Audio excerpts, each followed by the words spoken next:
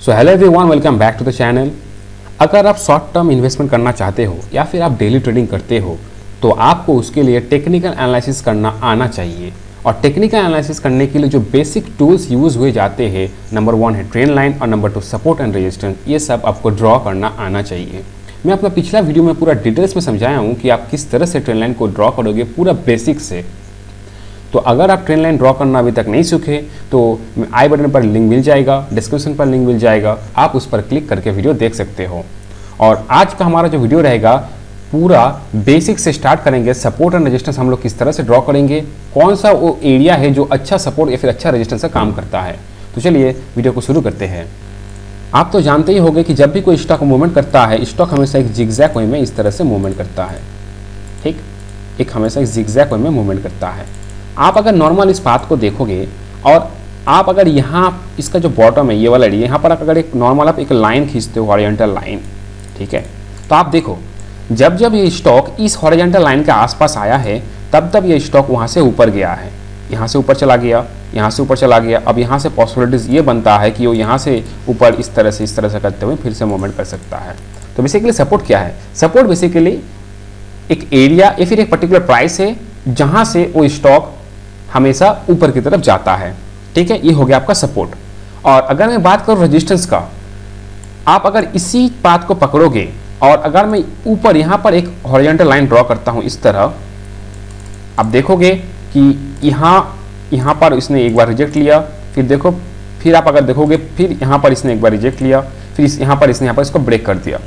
तो ये जो एरिया है ना, जहाँ से एक बार, दो बार, तीन बार बार बार रिजेक्शन ले रहा है, वो एरिया बन जाता है हम लोग का रजिस्टेंस एरिया ठीक है? और जहाँ से वो नीचे से ऊपर की तरफ़ जाता है, वो एरिया बन जाता है हमारा सपोर्ट ठीक है? तो इतना तो आपको समझ में आ गया होगा। अब, जब भी कोई स्टॉक मान लीजिए कोई स्टॉक रेजिस्टेंस को ब्रेक कर दिया, ये जो रेजिस्टेंस था, ये वाला लाइन इस रेजिस्टेंस को इसने ब्रेक कर दिया, तब ये रेजिस्टेंस क्या काम कर गया? तब ये रेजिस्टेंस बन जाता है सपोर्ट यानी फ्यूचर में जब भी इस स्टॉक को यहाँ से इस तरह से करते हुए ऊपर की तरफ़, ऊपर जाते जाते वो फिर नीचे आएगा, फिर वो यहाँ से ऊपर की तरफ़ चल जाएगा। यानी जो रेजिस्टेंस था, वो रेजिस्टेंस टूटने के बाद बन जाता है सपोर्ट फ्यूचर में वो इस तरह से जिग्जैक वे में फिर से यहाँ पर आएगा, फिर यहाँ से ऊपर की तरफ़ जाएगा। ठीक है? तो अगर कोई स्टॉक कोई रेजिस्टेंस को तोड़ देता है, जैसे कि यहाँ पर इसने तोड़ा तोड़ा था तो तब वो रेजिस्टेंस सपोर्ट बन जाता है। और ठीक उसी प्रकार, अगर मैं बात करूँ इस सपोर्ट का, अगर मैं बात करूँ इस सपोर्ट का ठीक है? तो मान लीजिए ये स्टॉक यहाँ से इस तरह से मूवमेंट करता रहा है, करता रहा है, करता रहा है, ठीक है? और यहाँ इसके बाद इस, इसने इस सपोर्ट को तोड़ दिया। जैसा मैं आपको बताया कि जब भी कोई स्टॉक किसी रेजिस्टेंस एरिया को तोड़ देता है, वो बन जाता है सपोर्ट ठीक उसी तरह अगर कोई स्टॉक कोई सपोर्ट एरिया को तोड़ देता है तो वो बन जाते हैं हम लोग का रेजिस्टेंस ठीक है? तो फ्यूचर में ये क्या करेगा? फ्यूचर में अगर मान लीजिए इसे तोड़ दिया तो इस, यहाँ से इस तरह से मूवमेंट करते हुए इस लाइन के आसपास जाएगा, फिर वो यहाँ से नीचे की तरफ़ आ जाएगा। यानी ये जो सपोर्ट का काम कर रहा था अभी हम लोग का काम करेगा रजिस्टेंस का काम। ठीक है? अब तक आपको समझ में आ गया होगा कि सपोर्ट और रेजिस्टेंस होता क्या है, और अगर कोई स्टॉक कोई सपोर्ट को तोड़ देता है तो वो रेजिस्टेंस का काम करता है, और अगर कोई स्टॉक रेजिस्टेंस को तोड़ देता है तो वो फिर सपोर्ट का काम करता है। अपोजिट ठीक है? अब मैं आपको चार्ट पर लेके चलता हूँ कि आप अच्छा सपोर्ट और रेजिस्टेंस किस तरह से आइडेंटिफाई करोगे। ये तो मैं आपको बता दिया सिंपली लाइन चार्ट में ड्रॉ करके। पर जो मोस्ट यूज़ चार्ट होता है, वो होता है आपका कैनलिस्टिक चार्ट कैनलिस्टिक चार्ट में हम लोग किस तरह से अच्छा सपोर्ट एंड रेजिस्टेंस एरिया को आइडेंटिफाई करेंगे। तो ये आप देख सकते हो, ये है आपका इंडिगो का चार्ट ठीक है? मैं ये सब पहले रिमूव कर देता हूँ। आप नॉर्मली इस चार्ट को देखो। आप अगर ऊपर इस प्राइस को देखोगे, इस एरिया को, ठीक है, यहाँ से ये एक बार गिरा, फिर यहाँ से ये एक बार गिरा, फिर यहाँ से फिर से वो एक बार गिरा। यानी क्लियरली जो ये एरिया दिख रहा है ना, ऊपर वाला एरिया ये एक रेजिस्टेंस का एरिया है। पर आपके माइंड में क्वेश्चन होगा कि कौन सा प्राइस को मैं पिक करूँ जो अच्छा रेजिस्टेंस है राइट तो आपको मैं सबसे पहले बता दूँ कि सपोर्ट और रेजिस्टेंस एक पर्टिकुलर प्राइस नहीं होता है। आपको यूट्यूब पर वीडियोस मिल जाएगा जहाँ पर वो बताएगा कि सपोर्ट एक, ये वाला प्राइस हो गया हम लोग का सपोर्ट पर आप अगर अच्छे से एनालिसिस करोगे तो आपको पता चलेगा सपोर्ट या फिर रेजिस्टेंस कोई एक पर्टिकुलर प्राइस पॉइंट नहीं होता है। वो एक एरिया होता है। तो पहली बात, आप ये गलत फहमी अपने माइंड से हटा दो कि सपोर्ट या फिर रेजिस्टेंस कोई एक पर्टिकुलर प्राइस होता है। सपोर्ट और रेजिस्टेंस हमेशा एक एरिया होता है, ठीक है? तो अगर मैं आपको यहाँ इस एरिया को बात करूँ, आप देखो, पहले बार उसने यहाँ से रिजेक्ट किया, ठीक है? इस पॉइंट से इसने रिजेक्ट किया। तो यहाँ पर हम लोग एक लाइन हॉरिजॉन्टल लाइन प्लॉट कर देंगे, इस तरह से, ठीक है? और सॉरी और आप देख, अब अब अब देखो, यहाँ पर इसने एक बार रिजेक्ट लिया, यहाँ पर इसने एक बार रिजेक्ट लिया, और यहाँ से भी एक बार इसने रिजेक्ट लिया। तो ये वाला भी तो भाई रजिस्टेंस एरिया है हम लोग का राइट ये वाला भी तो एक रजिस्टेंस का काम कर रहा है, क्योंकि यहाँ से तो स्टॉक नीचे की तरफ़ आया है, ठीक है? और भले ही फ्यूचर में ये यहाँ से रिजेक्ट लिया, पर यहाँ से तो उसने एक बार यहाँ से रिजेक्ट किया, फिर वो ऊपर चला गया, इसने इस पर यहाँ से रिजेक्ट यहाँ से रिजेक्ट कर दिया राइट तो ये जो एरिया बनता है ना, ये जो एरिया ये हम लोग का बन जाता है रजिस्टेंस एरिया या अगर मैं यहाँ से एक ट्रायंगुलर एरिया को ड्रॉ करूँ इस तरह से तो जब जब इस कोई स्टॉक इस एरिया के आसपास जाएगा, तब तब वो स्टॉक वहाँ से नीचे की ओर आएगा, ठीक है? और आपको मैं बता रहा हूँ कि सपोर्ट या रजिस्टेंस हमेशा एक एरिया इसलिए होता है क्योंकि जब भी कोई फॉल्स ब्रेकआउट होता है ना, उसको आइडेंटिफाई करने में आपका बहुत हेल्प करेगा कि आप अगर कोई एक पर्टिकुलर एरिया को पकड़कर आगे बढ़ते हो कि वो सपोर्ट या फिर वो रेजिस्टेंस है। ठीक है?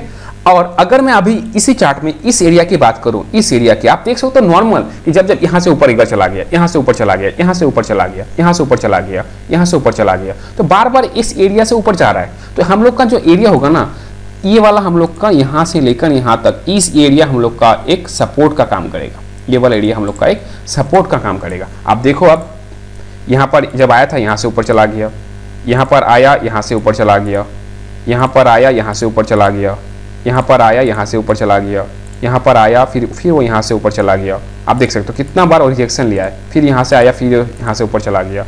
आप अगर नॉर्मल ये अपर वाला अगर लाइन पिक करते तो यहाँ से तो एक बार, दो बार, पर इस एरिया का क्या, यहाँ से तो उसने फिर रिजेक्शन दिया है। ठीक है? तो अब, अभी तक आपको समझ में आ गया कि मैं क्या समझाना चाहता हूँ आपको कि सपोर्ट एंड रेजिस्टेंस एक पर्टिकुलर प्राइस पॉइंट नहीं होता है, वो एक एरिया होता है। ठीक है? तो ये हो गया आपका इस चार्ट में सपोर्ट एंड रेजिस्टेंस को मैं इस, तरह से प्लॉट किया। अब मैं अगर इस चार्ट का ही मैं पास्ट को पकड़ू आप देखो नॉर्मल पास्ट को पकड़ रहा हूँ ठीक है? आप देखो जब मार्केट इस पोजीशन के आसपास था आप देख सकते हो ऑलरेडी एक बार स्टॉक यहाँ से नीचे की तरफ़ आया फिर ऊपर गया फिर यहाँ से नीचे की तरफ़ आया। जब कोई स्टॉक दो बार एक ही जगह फिर एक ही शॉर्ट एरिया से बार बार रिजेक्शन लेता है ना वो एरिया हम लोग का रेजिस्टेंस एरिया बन जाता है। समझ में आया?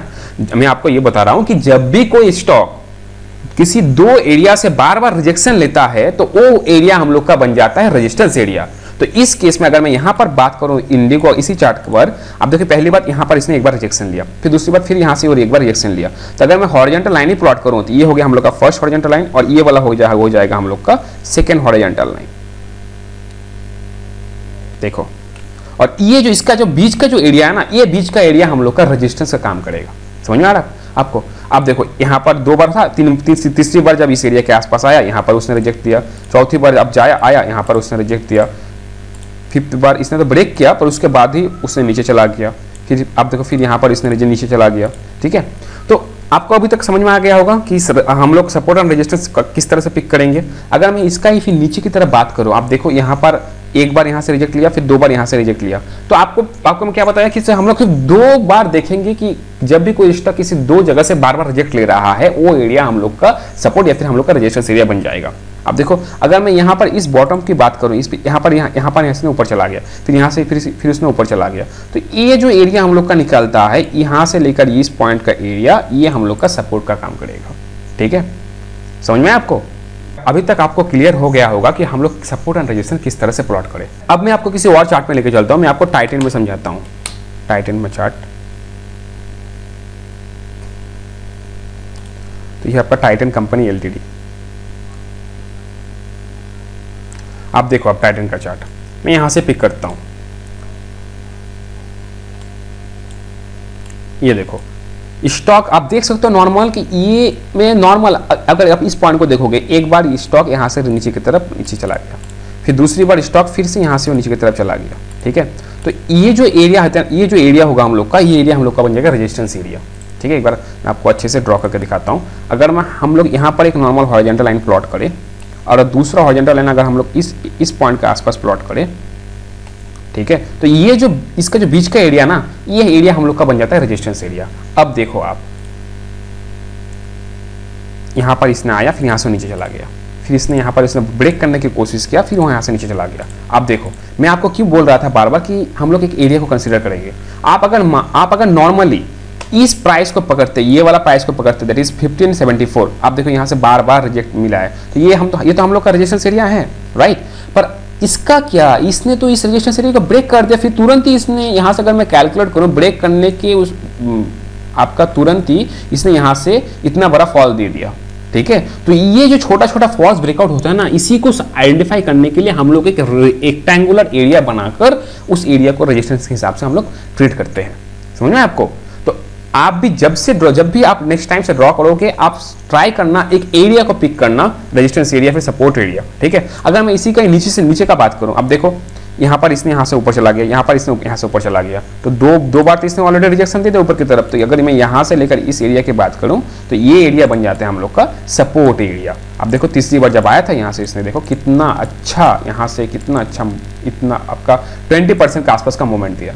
समझ में आपको? आपको मैं और एक और एक चार्ट लेके चलता हूँ।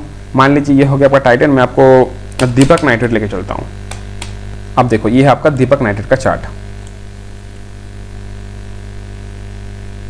इसको मैं क्लियर कर देता हूँ एक बार। अब देखो। आप देख सकते हो नॉर्मली आप अगर इस पोर्शन को देखोगे, आपको पता चल जाएगा यहाँ पर देखकर कि यहाँ से एक बार स्टॉक ऊपर चला गया, फिर नीचे या फिर यहाँ से स्टॉक ऊपर चला गया। तो दो पॉइंट ये वाला तो एरिया हम लोग का सपोर्ट का काम करेगा ही करेगा। ठीक है? आप देखो यार अगर मैं यहाँ से अगर एक, एक एरिया प्लॉट करता हूँ इस तरह से तो ये जो एरिया है ना ये एरिया हम लोग का सपोर्ट का एरिया है ठीक है?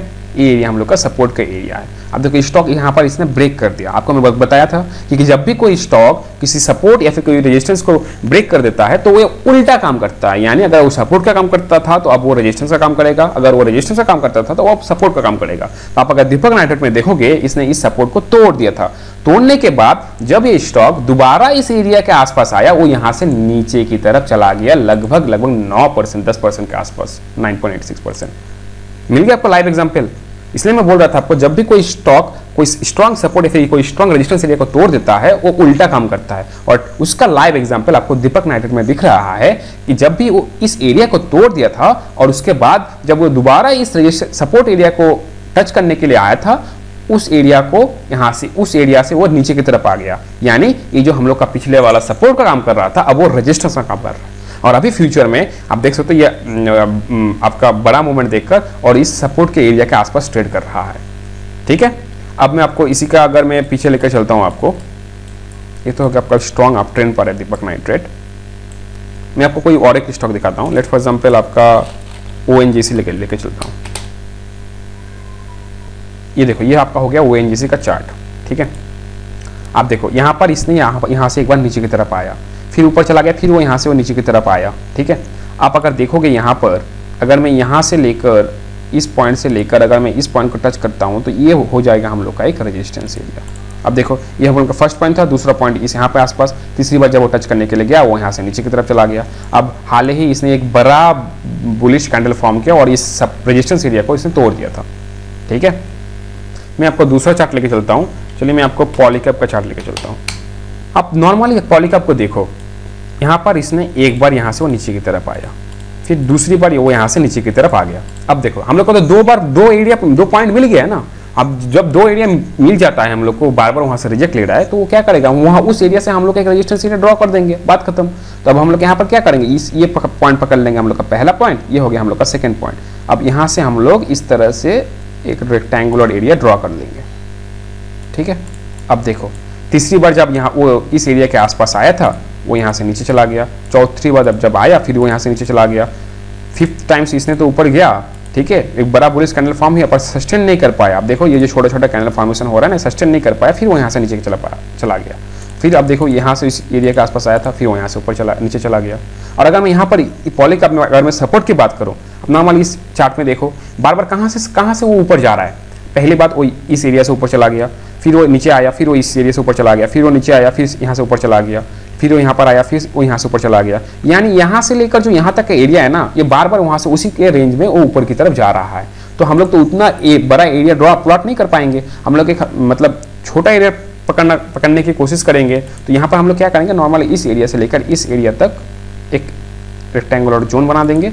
जब जब इस रेक्टेंगुलर जोन के आसपास आएगा, हम लोग तो बिल्कुल ट्रेड नहीं करेंगे। पर हाँ हम लोग अगर मौका मिले तो हम लोग लॉन्ग टर्म के लिए अपना एंट्री बना सकते हैं। ठीक है? तो आपको अभी तक क्लियर हो गया होगा कि अच्छा सपोर्ट एंड रेजिस्टेंस हम लोग किस तरह से ड्रॉ करेंगे। ये सपोर्ट एंड रेजिस्टेंस और ट्रेन लाइन आपका बेसिक चीज़ें है। आप अगर अच्छे से प्रैक्टिस करोगे तो आपको वन वीक के अंदर आपको रिज़ल्ट मिल जाएगा। जो मेरा नेक्स्ट वीडियो होगा, वो होगा आपका combined support and resistance and trend line को हम लोग दोनों को इस्तेमाल करके किस तरह से ट्रेडिंग करेंगे। और उसके लिए मैं एक स्ट्रैटेजी लेके आने वाला हूँ मेरे आप आने वाले वीडियो में। तो आप अगर चैनल पर नए हैं तो चैनल को सब्सक्राइब करिए। तो मिलते हैं आपसे नेक्स्ट वीडियो में। धन्यवाद।